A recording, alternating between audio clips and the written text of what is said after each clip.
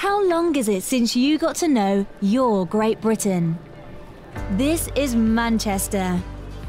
From the Northern Quarter to Spinningfields in the Corn Exchange and everything in between. The sights, the smells, the sounds, the tastes, the life. This is the heartbeat that Manchester is world famous for. We're waiting for you.